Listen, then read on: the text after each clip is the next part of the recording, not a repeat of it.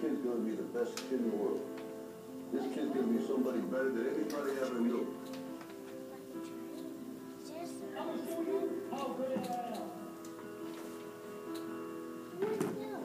Don't ever let somebody tell you you can't do something.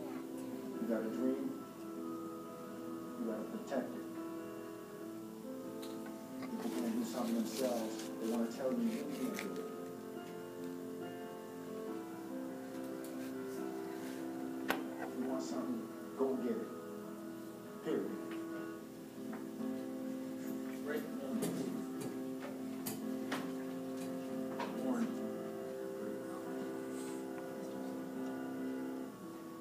What you have. That's what you earned here tonight.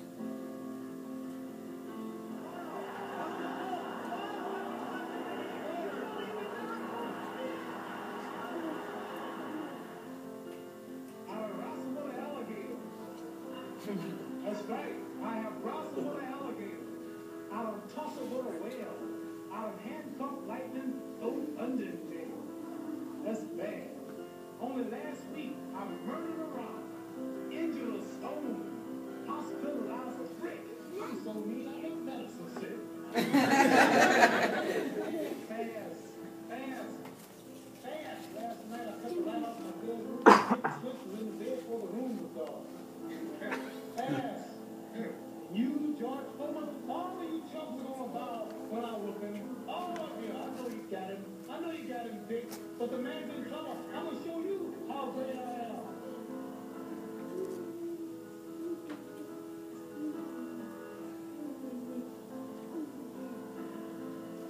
by inch, play by play, till we're finished. We're in hell right now. Believe me. And we can stay here they kicked out of us, or we can fight our way back into the light. We can climb out of hell. One inch at a time. About being perfect. And I want you to understand something. To me, being perfect is not about that scoreboard out there. It's not about winning.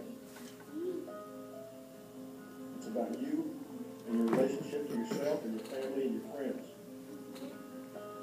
Being perfect is about being able to look your friends in the eye know that you didn't let them down because you told them the truth. And that truth is, is that you did everything that you could. There wasn't one more thing that you could have done. Can you live in that moment as best you can, with clear eyes and love in your heart, with joy in your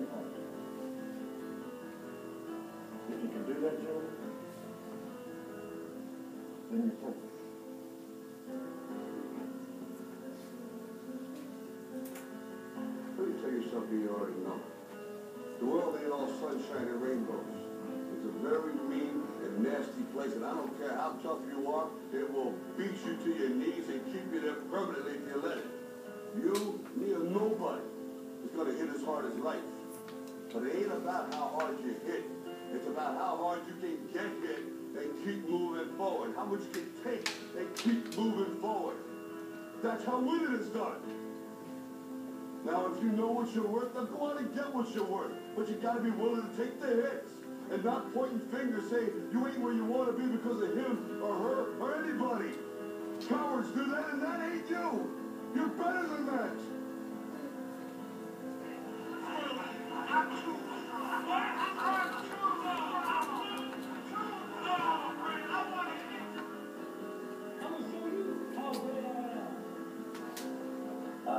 firmly believe that any man's finest hour, the greatest fulfillment of all that he holds dear, is that moment when he has worked his heart out in good cause and lies exhausted on the field of battle, victorious.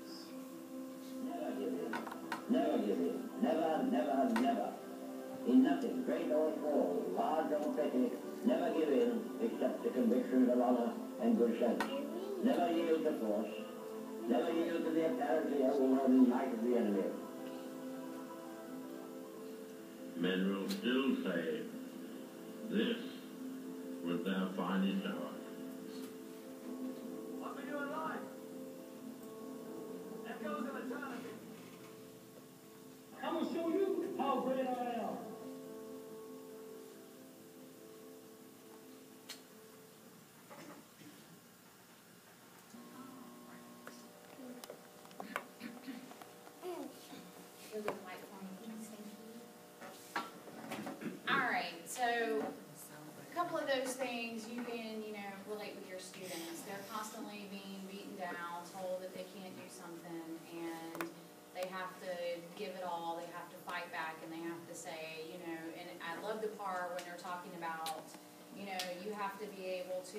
Life is gonna be the hardest thing that you have to deal with. You have to roll with the punches, and you have to see how hard you can get hit, and you gotta keep coming back for more.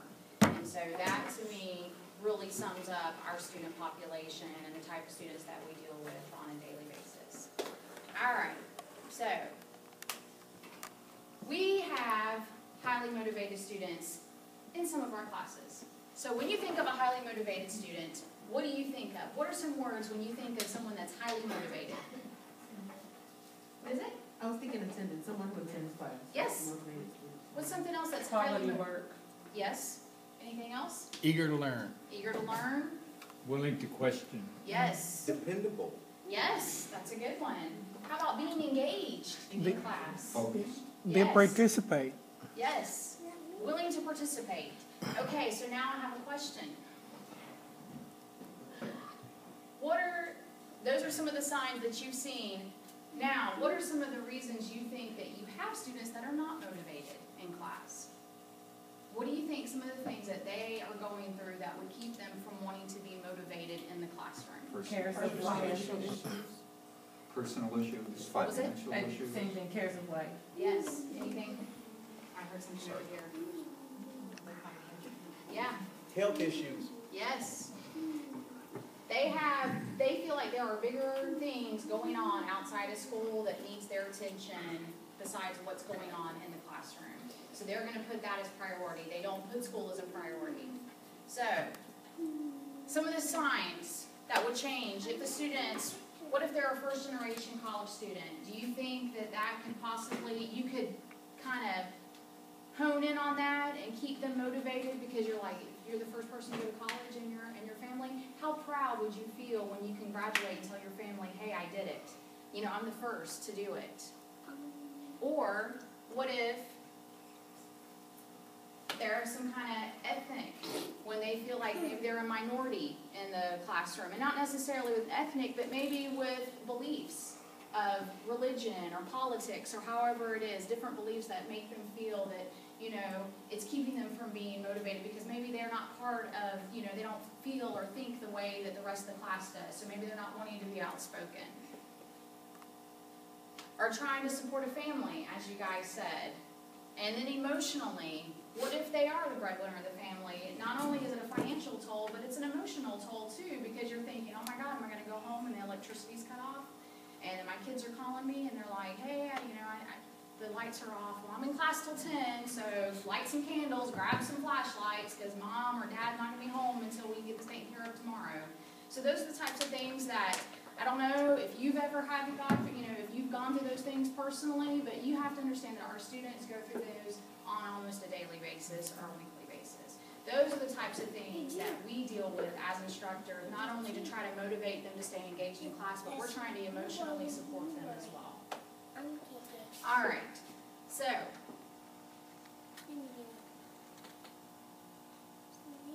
someone also said health.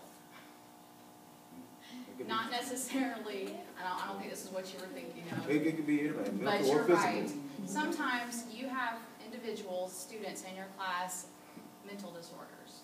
And I'm not talking about, I mean, of course I am talking about some of the mental disorders, but you also have students that you're like thinking, and it's, and, you know, none of us are actual medical doctors in here, and if you are, I apologize, but we can't sit there and diagnose them, but we know, we've read textbooks, we know exactly what people are saying when they're OCD, or they have maybe post-traumatic stress, or if they have, um, some kind of mental, um, when it comes to intellectual learning, they're having a disability with that, or we have people that are dyslexic, that maybe they, you know, don't read the same as everybody else, or if you have an individual that is, maybe has outbursts in class.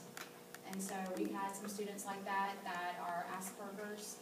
Yes, ma'am. I have a question. Some of my students identify whatever they have, and they talk about it, that makes it easy for me to help them deal with it. But some of them stay un- unidentified, Yes. and it's, at some point, it's too late, you know, um, you know, to help them out. They're usually quiet and whatever you do, but I don't realize that some of them have very small IQ or something, or whatever. And that's what we're gonna talk about Because we don't today. have access to that, right? Right, we don't. E- I mean, we Yeah. seriously do not, um, we can't do like a health screening on our students when they come in because, I mean, the American Disabilities Act, how many of you are lawyers in this room? So you know that we can't discriminate when it comes to someone wanting to enroll in higher education. So there are things, uh, you know, there are areas that are gonna be difficult for us because we're not trained psychologists or psychiatrists to help someone deal with it, but we're going to see some ways that we can maybe identify with the student, to maybe reel them in at the beginning, and maybe it's not necessarily an intellectual or an emotional, but we just notice that they're not participating, and how we can motivate them to participate, and maybe they'll be a little bit more open with us, what's going on. Do you have notes next to them or have, like, for example, I had a student who doesn't speak clearly, and then Dr. Afi told me that she has a stroke. Yes. But she does very excellent, you know, work. Right. So now I consider that when I put her grades down, because if she's having that issue and she can't speak clearly, so now I let other students help her say the stuff that she wants to say, knowing, you know, but before that, I was like, what's wrong with her? Well, one of the things, um, as a career college, and I don't know if you're comfortable doing this, but, um, coming from the modular team, every month, the modular students have to go through what's called an interview workshop. And so they're interviewed one-on-one with an individual.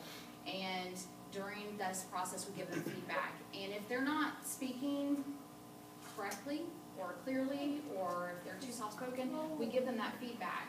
And at that point, maybe there is something that caused them to have some kind of speech impediment. So during that one-on-one, I wouldn't just come out and say, why are you talking like that? Like, why, why can't you just speak clearly? Why can't you just, you know, I mean, what's wrong with you? No, I would ask them, say, well, you know, when we were talking, I noticed that you're pronouncing some things, um, you know, and, and I would try to like draw it out of them to see in a way that doesn't feel threatening. It doesn't feel like, you know, I'm trying to, you know, make them feel stupid or make them feel dumb or make them feel like there's something wrong with them when in actuality she had a stroke. Well, yeah, I mean, she's paralyzed and her speech is gonna be impacted by that. So it's really about taking that student one-on-one and trying to figure out what's wrong with them and why, um, they're not doing as great as you would like them to, or you feel that they are capable of doing. And that's what we're, that's what this is about today, our in-service. I'd like to Yes. chime in there for a second, Lenore. Um, I had a s- a student that, um, I'm not too sure what's wrong with her. Uh, I know that there's some type of mental deficiency. Uh, she comes to school, but does not come to class. So she would sit in the computer lab, right? So, um, I had to teach this last semester. And after I get class started, I run over to the computer lab and say, such and such, it's time to come to class. And the times Dr. Larby has brought her to class, and some other instructors have brought her to class. Um, so I'm not, I'm not sure what the missing link there is. Uh, and she's, she's almost finished with the program, and she's a C student, but some, for some reason, she could not perform this term.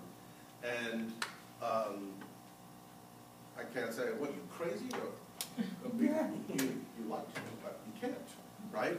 And this is, this doesn't mean that all our students suffer from some type of deficiency, but this is our, this is our, these are our students, this is our population, this is our demographics, this is, this is who we cater to.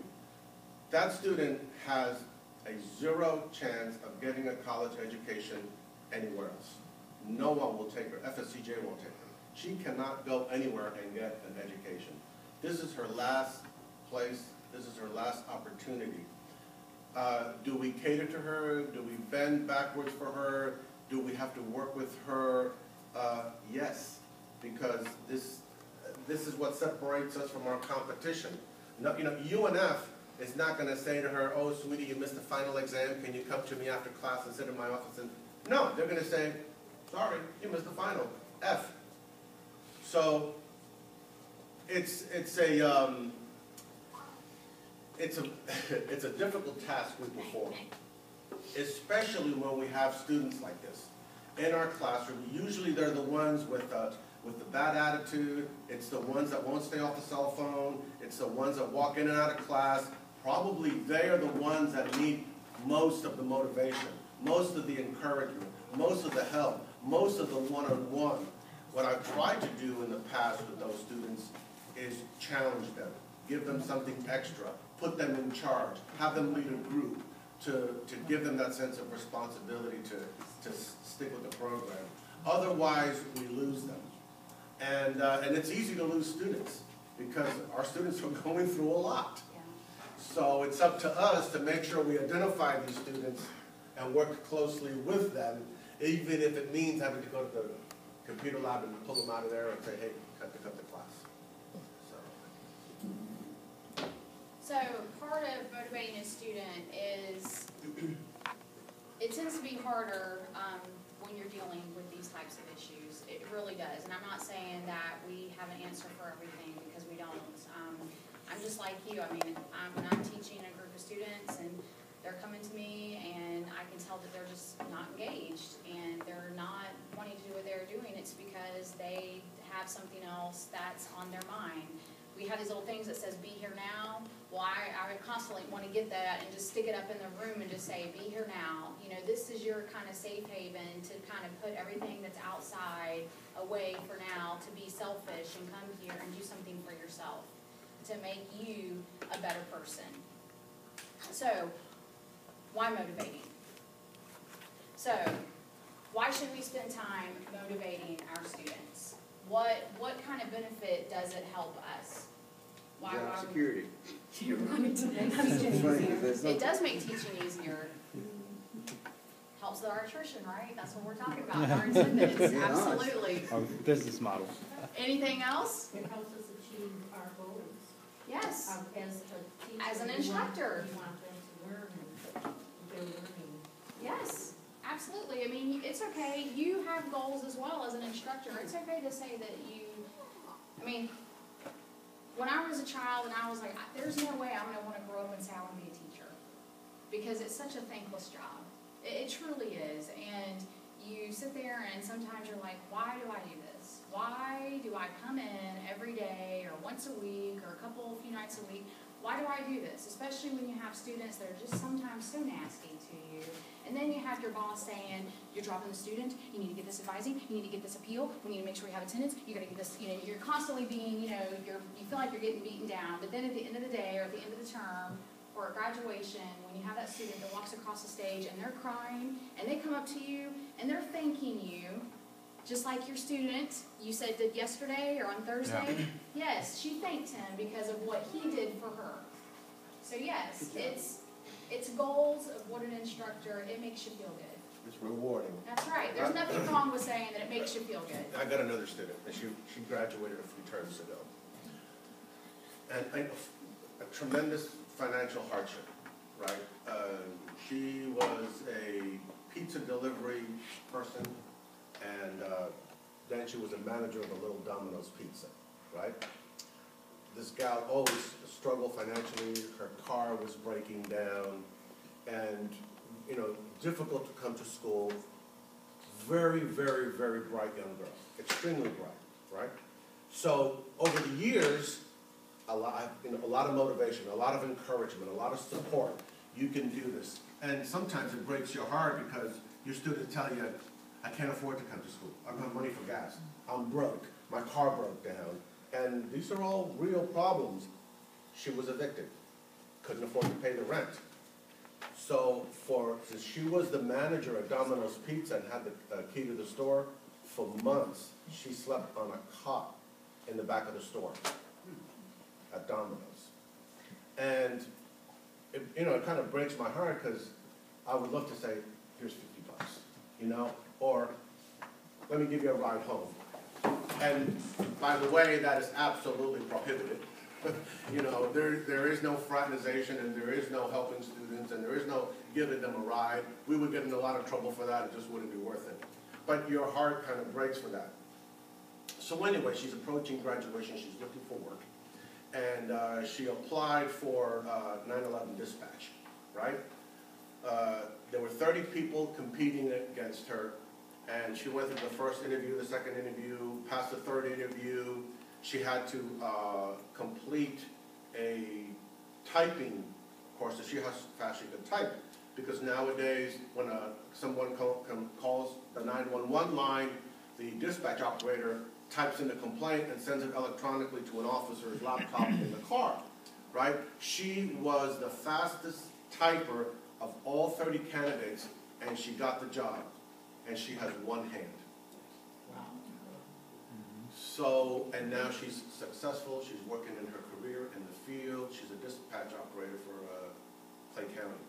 But again, it's those examples that we've got many, many, many successful stories. And I think what I do to motivate myself is I think of my success stories.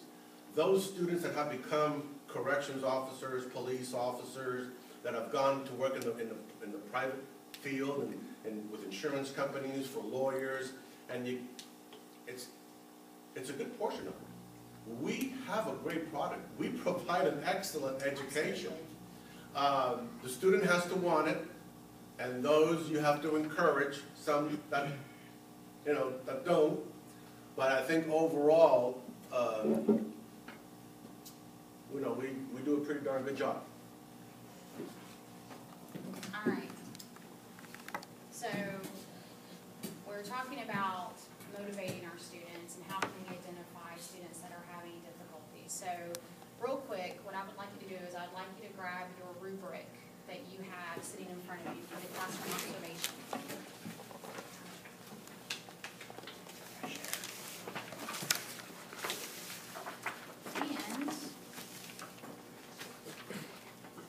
First thing I'd like you to turn to, it's on page three.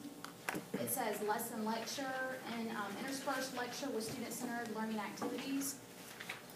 As you're gonna see throughout the rubric, oh, I apologize, it's this one here that actually has a description of what a one, two, three, four, five, those are.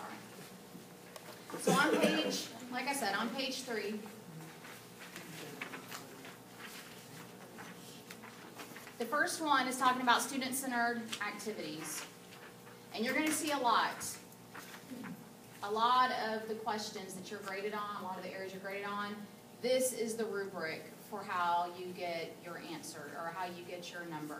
So, a number five says, had students actively involved in meaningful student-centered activities for the entire class per period, per hour that the observation was taking place.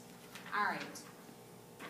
When you're sitting here, just like today, and I'm here and I'm wah, wah, wah, wah, wah, I'm sure that at the end of this, there's a few things you're gonna take away, but you're not gonna remember everything that we went over today. All right, and that was only, we're only gonna take like an hour, a little over an hour. Think about the four-hour time frame that you see your students every week. How much information do you truly think that they're going to remember at the end of your lecture or at the end of your class? And so what they're saying is that they like to see student-centered activities to kind of bring that information that you're talking about into reality, into a career application. All right? George was given, was telling us, um, Miss Beck Hart that's leaving us, she, um, one of the craziest things he was telling me, and I was laughing when he was telling me, is that he walked into a classroom and she had someone handcuffed up against the wall. And she was doing a pat down on him. And he walks in and he's like, did something happen?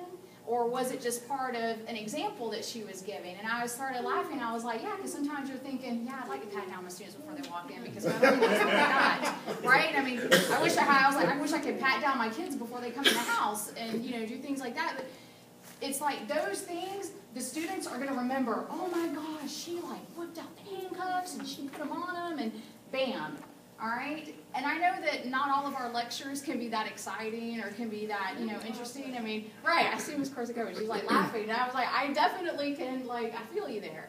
But we have to make it interesting so they wanna come back the next week or they wanna come back the next day, no matter what the information is that we are giving them. And so when they walk in, they wanna see that you have some kind of activity, and it doesn't have to mean that you're like super activity every fifteen minutes or whatever, but you have to make them, that's part of keep, getting them engaged, getting them motivated to, you know, get the information in.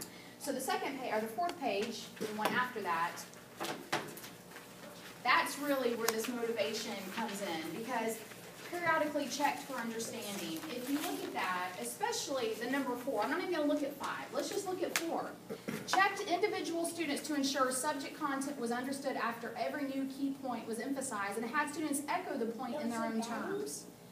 So I've, like, I observed so many instructors, I observed so oh, many on this campus, and I realized that our instructors are just so they are just so involved in their field. They understand, they have such a good understanding of what they're teaching, and they just throw out questions. And that's what you want. You're trying to throw out questions. That's what we're doing today. I've been asking you questions, but I haven't specifically said, Ms. Cruz, what do you think about this? Or Mr. Spivak, what, what do you think about this? I don't, I haven't been picking on someone and, and asking them, and that's part of what an instructor has to do. An instructor has to see that a student that maybe isn't engaged you want to ask them, and it's not that you're calling them out, but maybe you need to hear from them. Or you have the students like, they're just like excited and they want to share, you know, what you're asking, and so you want to call on them too because they need that praise, they need that motivation to like, you know, show how much they know. And so that's why we really emphasize asking individual questions, making sure that you're engaging with each student one-on-one in your classroom to see what they can bring to the table. And so that's part of that rubric. Does anyone have any questions so far about this? We're gonna go over it a little bit more. All right, but I went through and I highlighted on that page alone, all the areas that's talking about individualized questions being asked in the classroom. Ask questions of all students. That one I didn't even have to highlight anything specific, that just asks it right there. The next one, evaluated the degree of student understanding.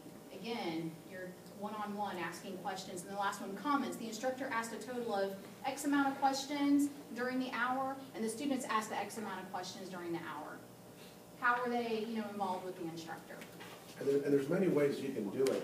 I've seen some instructors where has all the students stand and they have to answer the question correctly. If they get the answer correctly, then they sit down. If not, they gotta remain standing. I've also seen, uh, these rapid fire drills where someone stands and they gotta sit in the back of the class and they gotta answer as many questions as they can until they get bumped and then somebody else stands up and tries to answer as many questions as they can. And it's fast-paced and it's, and it's, um, exciting. So, as an instructors, as, as instructors in here, being the captain in your classroom, right, because that's what I'm gonna call you now, I'm gonna call you captains. How can we enhance the self-efficacy of our students, especially those that we see that maybe aren't necessarily engaged, but maybe they're kind of holding back or they're shy as to wanting to speak out? Because remember, what was self-efficacy? It was knowing that you can do something. Well, maybe they don't know that they can do it. They, they think they can, but you have to make sure that they can say, I thought I could, I knew I could. So what are some of the things that we can do to promote that in our classrooms? Yes? Well, I, when I grade, um, assignments and things, I put notes on my paper, like, great job, and, um, you know, kind of like Giving them feedback. empowerment. Yes. So I, I'll do things like that, and then if somebody is kind of like introvert or whatever, you know, it'd be nice that if you could share with this with the classroom next time. Okay, no, that's good. That's really good. Uh, Yes, sir.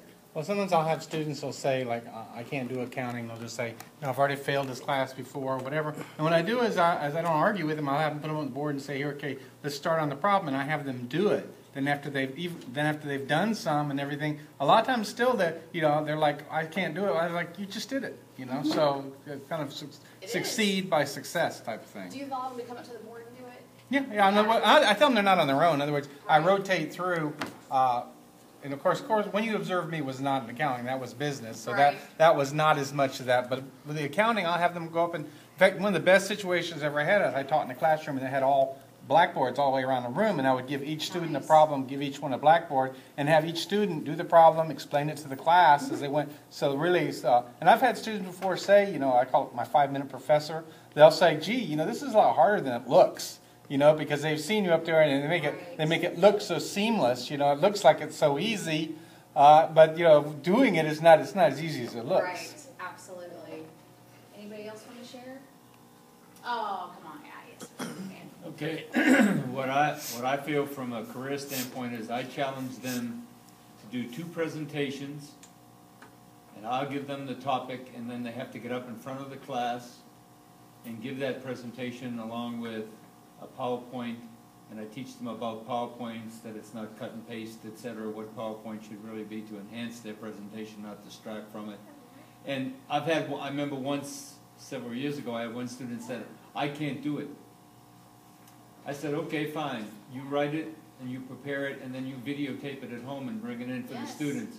And the student was trying to get me to agree to not let them do it, but they came into class, stood in front of the class and gave one of the best presentations I've ever heard. Yeah. So it's just helping them to, the easiest thing is, I can't, and if you let them, they won't. That's, that's right. But if you help them and encourage them, uh, and then that, I think, goes to self-efficacy, that once they see they can do it, um, and, and so I, I think they, they appreciate that. I've, a lot of times I tell them, I never had to write a term paper at work, but I sure had to give a lot of presentations. Right. And I try to convince them. Of No, and that's good. Do you have something?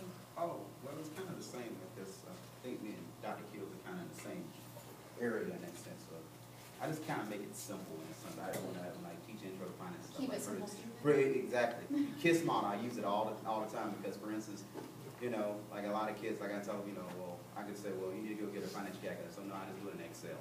And I let them come up and try to do it. So Excel does all the stuff for you. You just mm-hmm. kind of really just go bare bones. I'll break it all the way down, something that that maybe we could probably get in twenty minutes or ten minutes.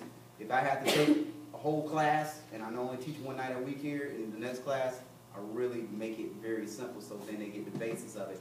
Then they apply it. Then once they understand it, then we can move on. So Absolutely. I think that works. Yes.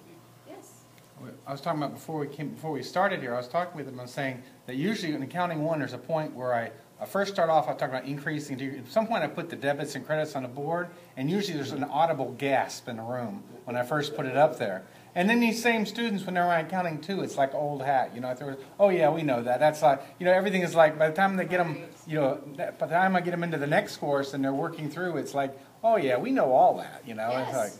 And it makes, the- it makes them feel good that when they walk in the first day of class and you're putting stuff on the board, they already know what it is. They're like, oh yeah, yeah, learned that. And so you can see the light bulbs like, oh, and, and you kind of, you already have their attention to want to expand on that. All right. So there was an experiment conducted. And what they did is they had 132 college freshmen that were in an intro psychology course. And they decided um, that they would send out an email, or they would encourage the students to send an email to the instructor or the professor for extra credit. So, 76 emails were sent to the professors, and those 76 students were randomly assigned to two groups. Either they were the control group or they were part of the self-efficacy enhancing group. And the email response for the control group just said, thank you, you're going to get your extra credit points. But the self-efficacy group went into a little bit of detail. And they thanked them and they recognized them for something, you know, that they were doing in class and whatnot. And they said, you know, remember, don't hesitate to contact me if you ever have questions. They're trying to build that connection with their student. And the result was, the email, of course, improved not only the student's grade, but the student's self-efficacy as a whole. Not just for that class, but as, in, you know, in their college freshman year. And so it just takes something as simple as, you know, sitting there and talking to your student real quick and just thanking them or giving them, you know, some guidance on something that will open up and help them along the way. And I'm sure a lot of you probably already do this. Yes, sir. Um, you always tell my students, if you know you're gonna be out of class, to send me an email or whatever, any questions. I get very, very few emails, very few times will I ever, uh, and I, I wonder what that is, is that students, they, they seem to be very, or they'll say, oh, I, I can't make it, you know, can I send you, and I'll say, just, just email the assignment. They don't wanna do it, for some, reason. there's a, there's a big hesitancy, so I don't know what, I mean, and I even tell them up front, the easiest way to get con- contact me is, you know, shoot me an email and then, you know. So what I noticed with that, I was in the, um, one of the computer labs one day, and the student came up to me and he goes, do you know how to attach a document to an email? And I was like, sure. And, you know, he had Facebook up, and he was going to town on Facebook, right? He was posting his pictures of his crazy, you know, little shots of himself, but yet he didn't know how to attach a Word document onto you know, his email to send it to career services. It was his resume that he was working on. And it amazes me how our students, you know, we talk about this generation X or the generation Y and, and how, you know, they're always on the computer and they have every, all these, you know, tech available. But it's amazing to me how many of them have this tech available but don't really know how to use the technology that's available to them. They only know how to use it when it's what they need it for. Yes, for Angry social Birds or media. some- Angry Birds or That's something. right, exactly, exactly. So yeah, so I actually took my class as a whole after I saw that, and I did an activity in class where I said, just real quick, I want you guys to type something up on a Word document, and I want you to attach it and email it to me. So now I have all your email addresses, and if I need to get in touch with you, I have it. And it was amazing how many students were like, well, I don't know how to do that. And these were young kids, like kids that are like young enough to be my my child. And I was just like, really, you don't know how to attach like a Word document? I mean, it's just so easy. And God help them with PDF files, right? I mean, so you really, right? You know what I'm talking about. I'm wondering, maybe I should, maybe like with the intro to business or something, maybe we should take a trip down there. It there. may be a good idea, just as a real quick activity, to say something as easy as that. Can you attach it to me, just so I know, and, and make it as, you know, an extra credit assignment that you can do. Something easy, one, one point or two points, or whatever the situation, and you will learn so much from your students. And then the grammar is a whole nother issue. So, yeah, and I'll let Dr. Munoz help with that. He says all his students have perfect grammar. I didn't say that. All right. So I want to spend the next few minutes um, discussing students' effort. All right. Um, when I say effort, I mean students' motivation or their initiative, building, making them. Rephrase that. Okay. So how many of you have young children? Mm-hmm. I obviously know Dr. Harris does. Okay, so I have, you know, I have, I have kids at home, or you maybe have nieces and nephews, or however, and you look at them and you're like, why can't you just take the initiative to take the trash out? Why can't you just see the trash overflowing, and you're like walking by it and you're adding to it, and you don't think, oh, I need to take it and go put it in the trash. No, you just let it fall all over the place. Think about it. I have students that don't take the initiative to do simple things like that. So how do you, as an instructor, and what I'm going to have you do, I love these post-it things because we're going to hang them up, is how do you create, or how do you um, teach a student to be, take the initiative on something? How do you do that? And it's all about how are you motivating them, but it's more about, it's not even about motivation at this point. It's really just taking initiative to do something. So I'm going to give you a couple minutes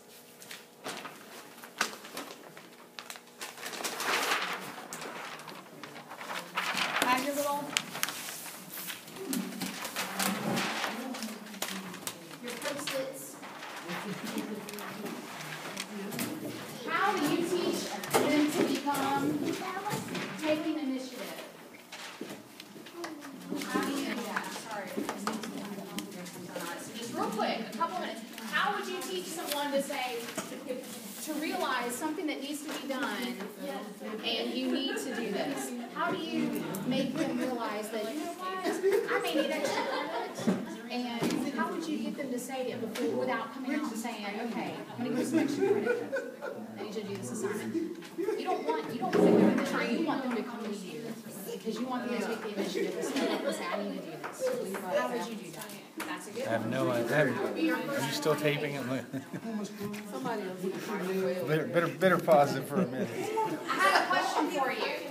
How many of you knew that on your rubric, it states that you actually get marked if your classroom is in pods?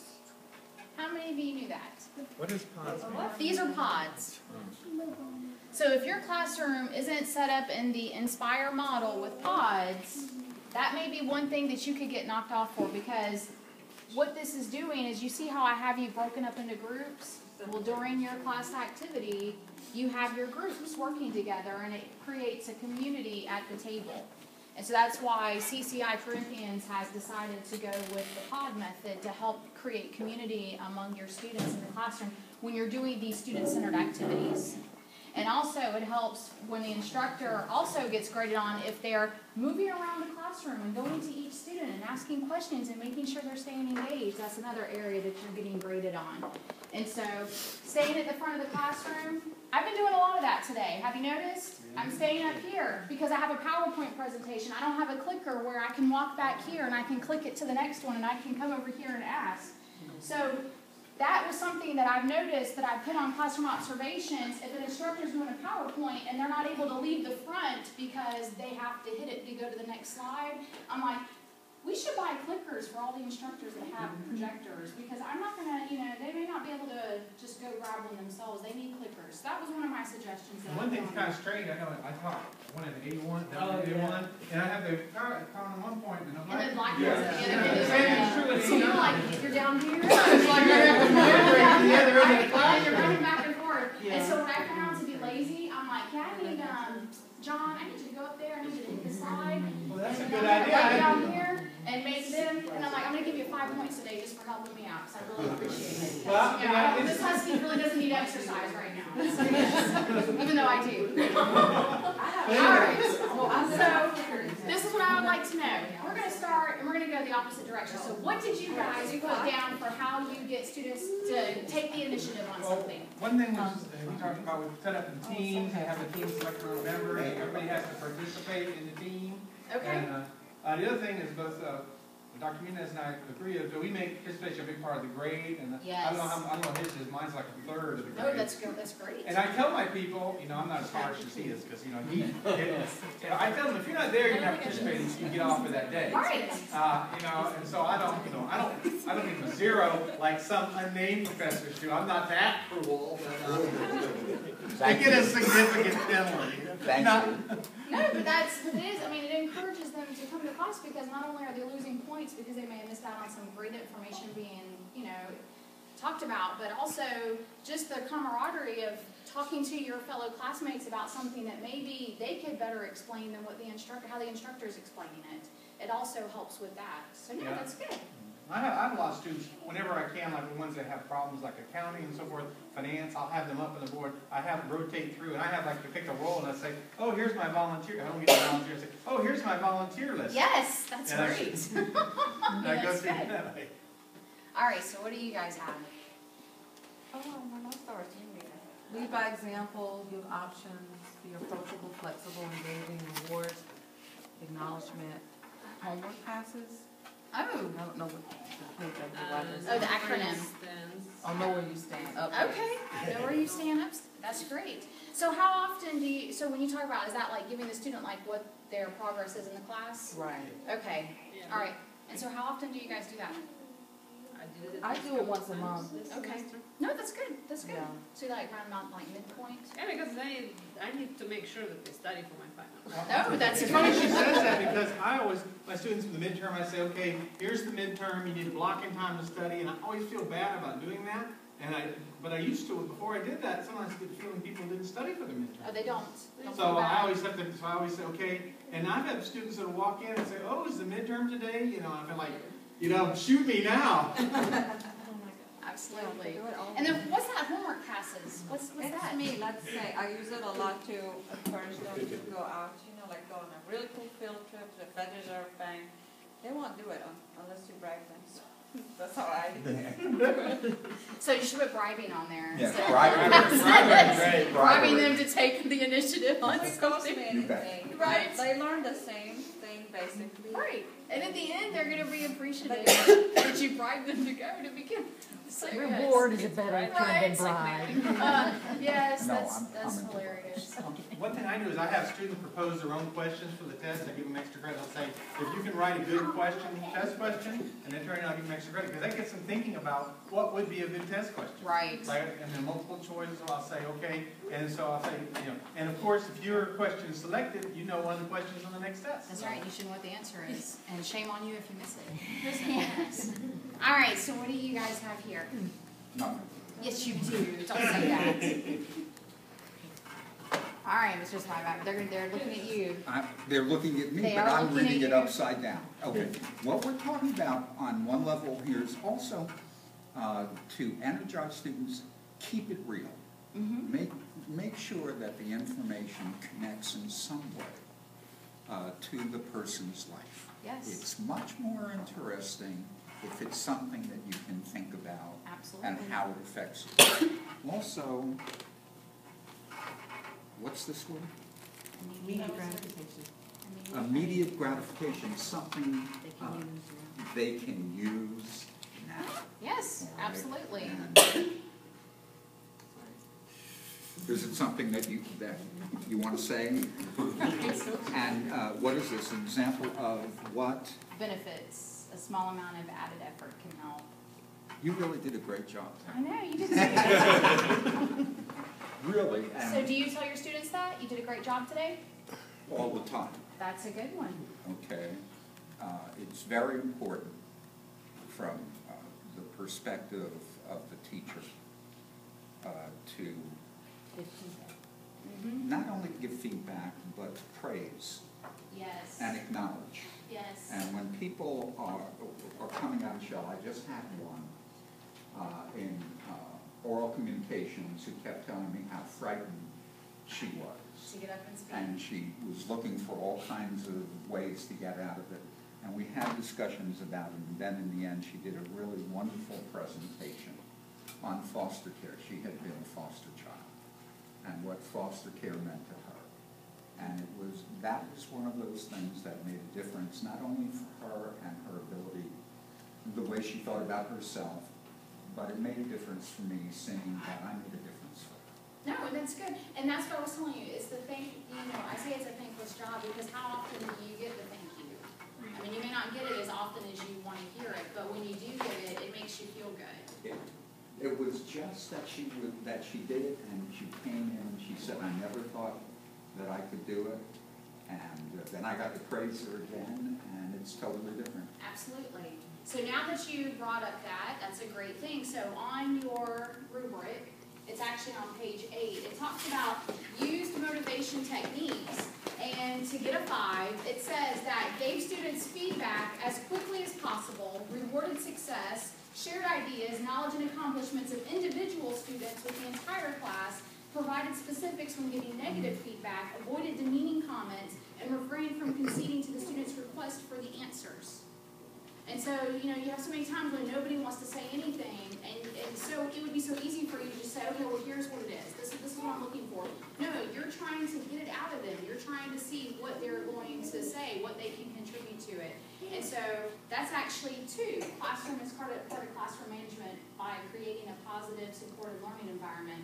And so those are two areas where if you're giving feedback in the classroom, we're going to see how you do the feedback when you're asking your um, individualized questions or when you ask the class question, how they're responding and how you're responding back to them. And so again, we want to see that you're engaged with your students. All right, so real quick, it says, do you agree? Intelligence is something you can't really change. Do you strongly disagree? Do you just disagree? Are you neutral? Or do you agree? Or do you strongly agree? I strongly disagree. Do you disagree? Any others? I think I'm neutral. Okay. That's okay, there's no right or wrong answer on this. So, for those that strongly disagree, why? Why do you strongly disagree? Well, I mean, a lot, of- I mean, what is intelligence? I mean, a lot of times there's people just don't have experience in showing them methodology. I tell them, I'm giving them a toolbox. Here's your toolbox, problems, ratchet on there, you can go, like at one time I was tutoring athletes and the problem would come and I could, I could see the solution immediately and they're like, how did you do that? I said, well, I've been doing this for ten years. You know, after ten years, you sort of can see what the answer's gonna look like and you can work your way toward the answer. And that's intuition, and you don't get that, the first time you see the problem, you know, you look at the problem and it, it really is Greek, sine and cosine, it's Greek. Yes. You know, so, but, but after you've been doing it for a while, you can sort of see, well, if it's got sine and cosine, then the answer must be sort of sine and cosine, and you can see what the answer must sort of look like. So you feel like it's something that can be learned? Right. Okay. Somebody else that strongly disagree? Yes. I would, um, the opposite. You strongly agree? Yeah, because even if you give them the toolbox, their underlying IQ is still gonna. That's right. Yeah, Give about- the variable results at the Exactly. end. I kind of, I'm sorry, go ahead. You I- get the A, the B's, the C's. Okay. I kind of relate intelligence to height. You, you, you're only gonna get Gonna what get God some- give you, right? But at- I'm serious. I mean, you're gonna have somebody that's short, you're gonna have somebody that's tall, somebody that's medium, but at the end of the day, now, you were saying, Dr. Kills, I, I agree with the thing, you can change study habits and you can change grade performance, but it still doesn't determine your intelligence. And intelligence shouldn't just be measured on, oh, well, you were a B student in finance but- before in, in, in, in intro, and then you got an A in investment, so I increased your intelligence. Not necessarily so. Maybe I changed some habits and you learned some new material that made your knowledge more increased, but it still doesn't change your intelligence. So intelligence shouldn't just be measured just on, oh, well, just on singular performance. So I just think I'm, I'm more neutral about that. Well, So your, I- I think your intelligence is basically your ability, your ability to learn. Okay. And so, uh, that's why they used to have IQ tests. They no longer, uh, have IQ tests be, uh, are valid anymore, because they really can't, I guess, zone in on really attaining what a per- person's, uh, intelligence level is. There's like a real, no way to sort of measure it properly. I have a question for you, and this is just playing devil's advocate for any way you answer it. All right, so I feel like there's different kinds of smarts. You have street smarts, you have book smarts, you have common sense. And I know an individual that is, I mean, they naturally are smart, and it kills me because they're not using that intelligence the way I feel like they should be using it. But they are really smart. And so, but they're not so smart when it comes to common sense. And so some people would say, God, they're just really stupid, like, what the heck is wrong with them? Like, they're just dumb. And I'm like, no, they're not dumb, I'm telling you, they're, they're pretty smart. Lots going on up there, but you really might not, I mean, there's some practical things. And so, have you ever thought that maybe what we think about as intelligence isn't necessarily what we think about when it comes to the IQ of how, and you're right, it is about learning, but it's how, what we have and how we apply it. Like, what exactly we have in us to apply the way that we think. This is a semantic issue more than anything else. I think, I think you can learn how to learn and that's part of what we do, is to teach, is I teach people how, Right. how, you see the problem, now how do you attack the problem? Right. What is it, what does the solution look like? What could the solution be? You know, if it's a multiple choice question, you know, okay, there's four there. If two of them are right, you know, look for the, all of the above answer, you know? And if you can, if, if you can see two are wrong, you've got it down to two shot there. And, you know, try to, part of it's how to, how to attack the problem, learn how to learn. And I would think that's how Mr. Hawkins was saying that, um, you're showing someone a study habit, you're showing them how to, how Yeah, to you can improve it. habits and you can improve Right. methods, but it's intelligence-wise, I think that's on an Right. overall broad stroke So does the, does the person actually have the capability to Exactly. understand what, what we're doing? And that's part of intelligence, so guess what, Right. you, you have that capability, okay, well, I was studying wrong here. Maybe if I do a little more application, because like I said, what I teach is, I don't, you really don't do a lot of memorization, you have to actually go in and do it. So if you know the methodology behind to apply it, then yes, I think that's why I'm neutral about it. You can change some things that can improve your performance, but just you're giving with what you're getting. Right. How you work it. As Miss, as Mimi said, you don't know the intellect of our students. I mean, you may have an idea of what you think their intellect is just by way that they have, you know, shown you various things or the way that they perform. But we don't know hundred percent what's going on inside or where, really where that capability is until we as instructors try to bring as much as we can out of them. And so, yes, Dr. Kills is right to where he can help them see another way to do it. And you can try to show them how to do it in different ways, but we can't sit there and say, I don't think this person is intelligent because sometimes you have a student and you're like, damn, they're dumb. Like, God, I just like, oh, I don't know why they're in this class. But really, is it laziness? Is it not taking the initiative? Is it because this information is just, it's not engaging for them? So you really have to kind of step back. And I'm not saying it's always going to be like that, but sometimes you have to just really step back and say, am I giving them the benefit of the doubt? I, that's really what we have to do. We have to give them the benefit of the doubt of, you know, I know you're smart, I, I know you got it, and I'm going to try every way I can, but I just can't, I can't lead a horse to water and make him drink. I'm going to tell you, I'm going to give you all the tools, but if you don't to use so be it. And in all fairness, there are uh, multiple kinds of intelligences, and we may be talking to certain kinds. Right. And not to others in which the student may excel. Yes, yes. And the other, other thing that strikes me is, I know people that have a lot of knowledge, but it's out of a book and it's in their head. And I think one of the key things I find challenging is to find something that's happening right now, newspaper, something they've seen on TV, and say, look, this is the real world, so that they see that what they learned in theory or as an academic exercise is for real. And then, I think, then I see a lot more understanding, and that's why I always look in the newspaper for something that touches Yes. Uh, an issue and I say, well, all right, we talked about this, or we, and here is an example from yesterday or the day before, newspaper, and this is how it works in real life. And part of your rubric wants to know, is the instructor taking the information that you're teaching them and applying it to a real life career application? You're being graded on your rubric for that when you, in your teaching methods and your methodologies. And so again, that's great because when you can take this and it may be something the students are like, I don't understand why I need to know this. You can say, well, let me give you an example of why. And it's a current or something in, that you've experienced in your profession. This is why. I'm, I'm gonna tell you, it's weird and it's like crazy, but I'm telling you, those weird incidences, this is why it happens. You had something to say, Dr. Oh, I was just, um, as you guys were thinking, um, I mean, talking, I was thinking that when we look at intelligence, we often look at it from a subjective standpoint in terms of we put ourselves into those situations and say, well, when I was this age, I was able to accomplish and so on and so forth. And I think the ultimate goal when we're teaching our students is to remove self Yes. and get a better understanding of the students you are trying to teach.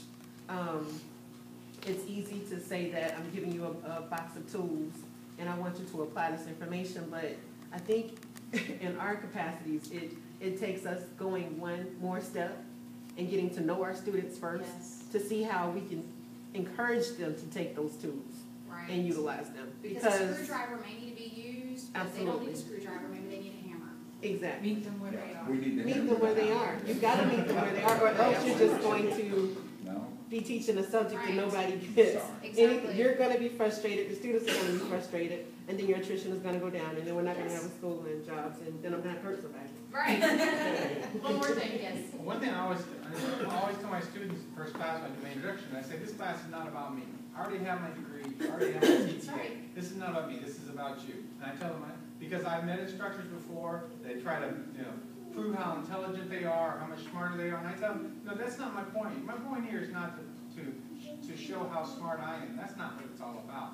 And, uh, you know, a lot of times I, I wonder sometimes, because it, it seems like some instructors, seem like their whole point is that. To show off. Is to show off, you know, I'm smarter than you. I tell them, no, it's not about me, it's about you. That is. And, you know, I've already got my degree, I don't need to get my degree. I've got all, I got a terminal degree, that's the end of the line. Right. There's no- there's no- I'm at Sounds like a terminal disease. Know, I know. It's very, very similar, very similar. All right, so does anyone have any further comments questions about today's in-service. All right, so your rubric, like I said, you're more welcome, you know, these are for you to keep. I wanna make sure that if you have any questions about the rubric and how it's graded, please, um, come see me, I'll be more happy to go over it with you. When we do have guests that come into our classrooms and do a classroom observation, they will be going by this to grade you. And so that's why we wanna make sure that you have all the tools in your toolbox to understand, um, how to perform better in the classroom. All right, thank you so much. Thank you so much, Ms. Oski. Uh, We're running out of time, so we'll just do some quick housekeeping uh, for spring 2014. Every, every syllabus, every, sorry, every roster must have a syllabus. I, I- I reviewed some of the rosters this last term, and there was, half of the rosters didn't have syllabus. So make sure you make a copy of your syllabus, put it in the roster. That has, to happen for this term, so review, you know, get your syllabus together, and then make sure it's in the roster. Uh, the syllabus is the contract with our students, so make sure day one, you review, uh, what's in the syllabus, because that's the contract they have with us. You know, what's gonna, what, what's gonna be happening in the classroom, what they need to know should be in the syllabus, and make sure that's done day one. And you can always do it day two. If you're teaching Monday, Wednesday, Tuesday, Thursday, first week of class, review your syllabus day one, the first session, and then the next session again. If you're teaching on at nights, once a week, do it for the first two weeks. Remember, the first two weeks is add drop, so we'll be adding students or students will be changing classes. So you want to be very flexible with uh, your planning and organizing of your class classes. The policy of CCI, you must call students when they're, not, when they're not here. You have to call them.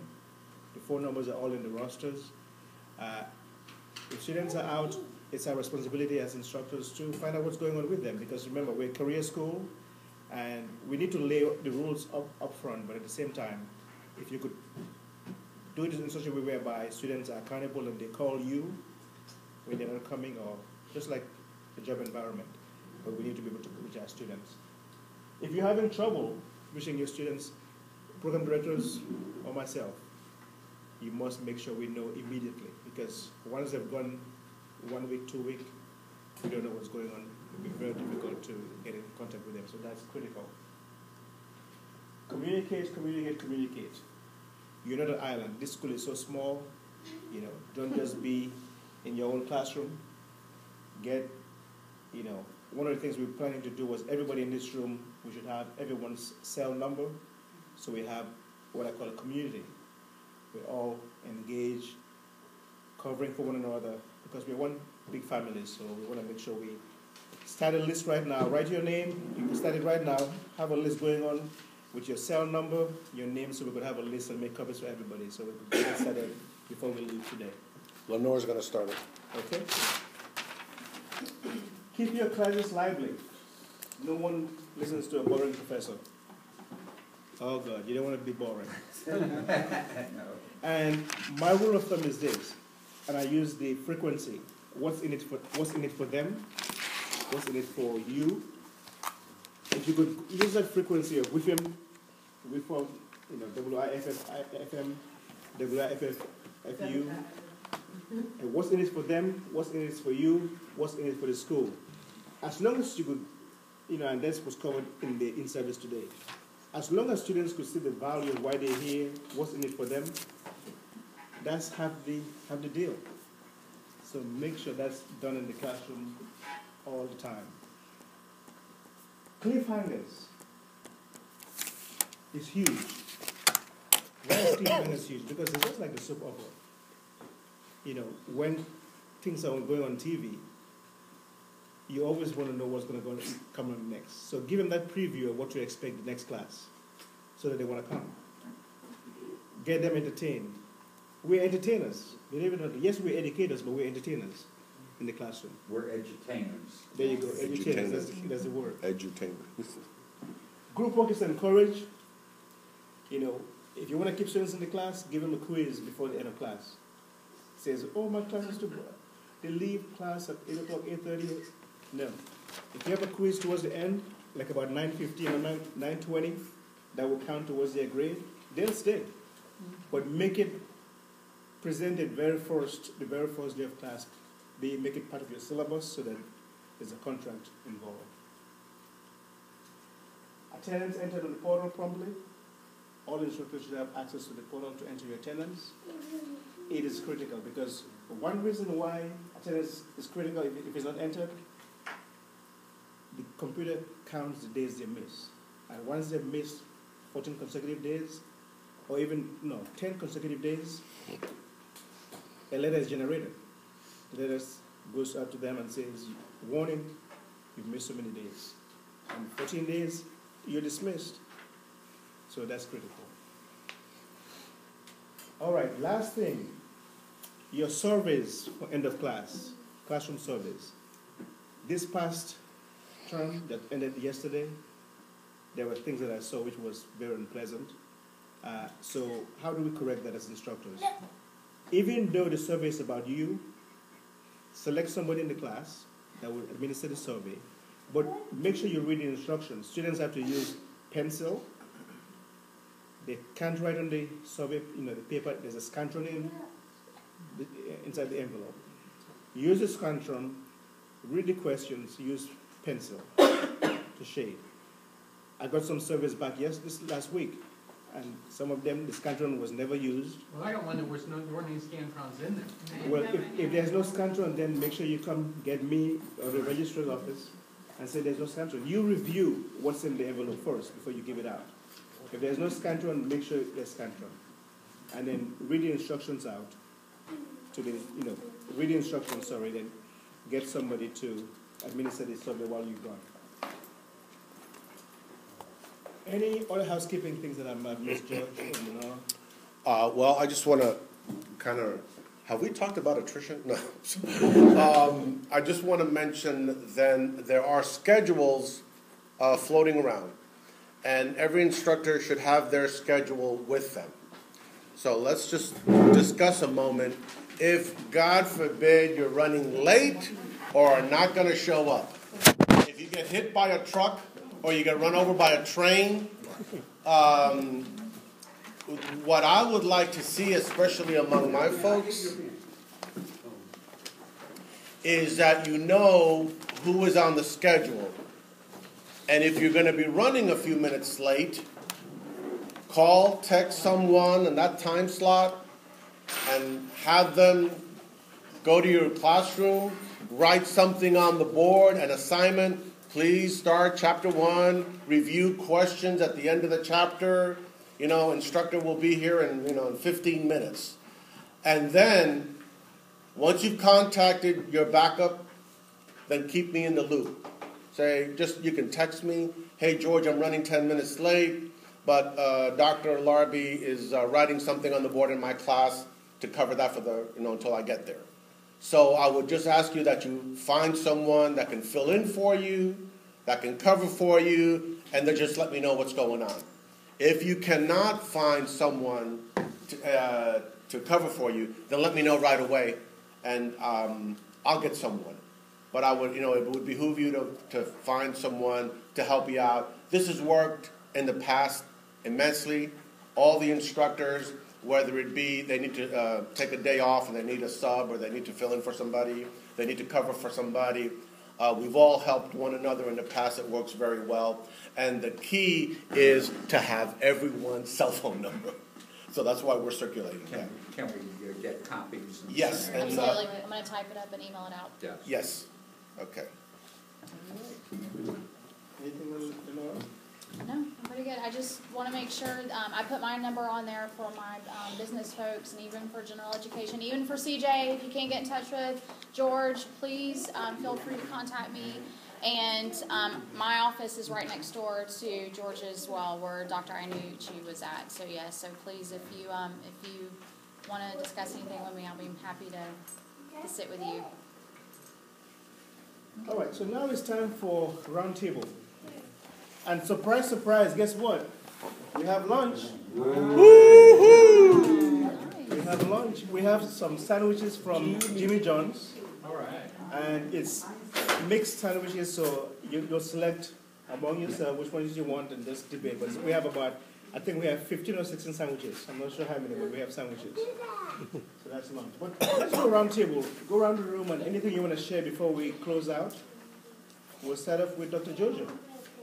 I'm good. There's nothing to share. I'm too sexy for my shirt. Too Oh, no. You're not gonna live that down. You'll never live Oh, that. please erase, erase, remember what I said a while ago. Yeah, yeah, I'm never willing to happened. share, uh, No. I'm happy to be here. All right, Dr. Kills? Uh, so happy to be here, and always, uh, eager to learn, anybody has any new ideas. All right. Dr. Harrison? Good. Mr. McMahon?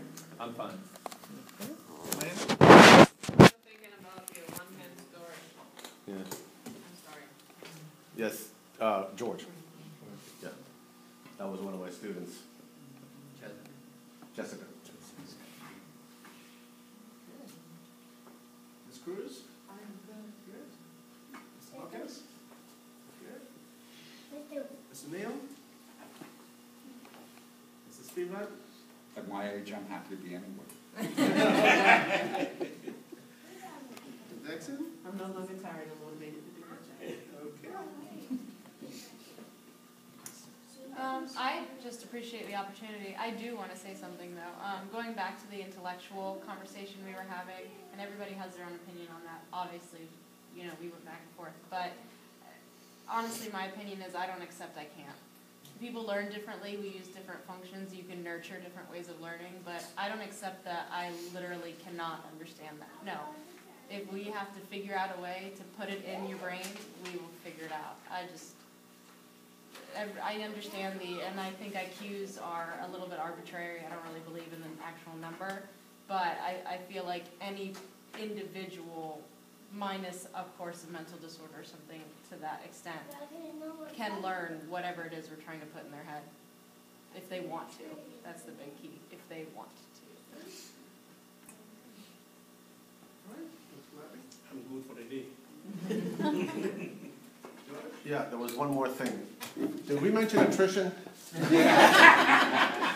Um, What's attrition? So you know that all of you, uh, when there's a student missing in class, we circulate emails to let all the other instructors know that they're missing. So uh, perhaps we can uh, just beef up those emails a little bit as to what you've done. If you've called them, uh, the results of the call, was it uh, disconnected? Um, did, did they have a cell phone? Did you try it? Were you able to leave a voicemail or not? Did you try emailing them? Because if you've done all these things and they haven't worked, then uh, it'll get kicked up to, to me, and then I'll do everything I can to uh, pursue contacting them. And it's really important that we stay in very, very close contact regarding our students. At the first sign that somebody doesn't show up, we need to be on them and to, to find out what happened. Are you just dropping this class, or uh, did they move away? Did they get hit by a bus? Whatever the case may be, we need to be on top of it, and we need to be on top of it right away. All right? That's all I have to say. Thank you. Um, I just want to thank you all for, um, for coming today, and I know that, um, when I saw that it was on a Saturday, the first thing I thought was, gosh, I'll get to sleep in, and I was like, wow. But I just want to say, um, I'm, it was a little intimidating to come to the linear side after being with the modular side for so long, and, uh, it's, um, I hope that you're patient with me if I have questions, um, and I'm not trying to, you know, I'm just asking questions because that's how I learn. so I just ask that you be patient with me, and I um, am very open about communicating. So please, as um, George was saying, communicate with me. I'll be more than happy to track down students. I am told a student in Mr. Spivak's class, I'm like, I will hunt you down like the dog you are, and I will find you wherever you're at. I was like, we got to get you in here to register. I was like, I got to get you in here for next term. So yeah, just um, communicate, communicate, communicate. I mean, just to add to Lenora, she just took over the program, first, the very first quarter, business is already under the, the goal of attrition, so. I'm at five point one. Yeah. And the first two months, so she's already coming with the right attitude to get it done. But that's because of you all. because you see that your attrition numbers, that wasn't anything to do, I feel like that wasn't like a lot to do with me, that was to do with you and how you are with your students. And so that's why I'm saying, if you have anything you wanna come vent, I'll vent with you too, believe me, I have lots to vent about, you know, when it comes to students, I'll, I'll tell you too, so yes, see. And finally, the word self-efficacy. And that is the, for me, self-efficacy says it one because you are the, what I call the experts in your field. You are the ones with the talent. You have that expert knowledge, expert power. So once you have knowledge power, using the five bases of power, you have that power within you. Transmitting it to the students should be something that comes naturally. So you believe in yourself, you know what you're capable of doing. It's a matter of just transmitting it to them and realizing that they're here to get everything that you have, and you're willing to share, willing to give it all that you have. Uh, thank you for everything you do, and let's continue to do the best we can with what we have, because we can't change the world, but if we could touch one student at a time, which we've, we've we've always done, that difference will make, is just something that could- will be cherished for a long, long time because we're making a difference. When it's, you know, it's like Lenore said earlier, seeing a student come years ago, you know, that very first day, every term, and when they finish, it's a beautiful experience because you, you sometimes you say, I don't think they'll make it, but that focus and determination is what it's all about. And you that difference in the classroom each and every day because you are the leaders in the classroom. You are what we call the coaches in the classroom. You are the ones that make it happen. And as long as you're in the classroom making it happen, the school will stand the test of time. Because you are the foot soldiers and you are the leaders. So thank you for spending half of your day with us today. And Lunch is served. It's about 16 sandwiches. Get a sandwich, some chips, get a drink. Thank you.